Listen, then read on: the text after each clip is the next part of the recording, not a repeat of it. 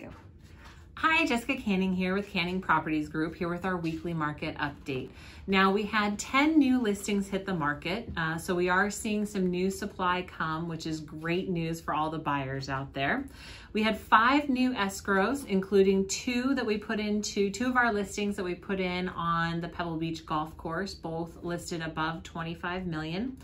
And then we had nine closed escrows this quarter. Now, fundamentally, I know that it's been really difficult for a lot of buyers out there. It's really tight inventory, and I just want to give you a little good news. Uh, I do anticipate increased supply over the next couple of months.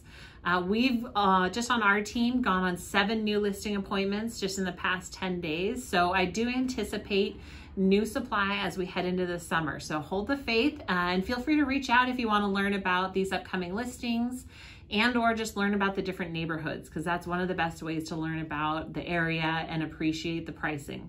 Feel free to head to our website at canningproperties.com. Thanks so much.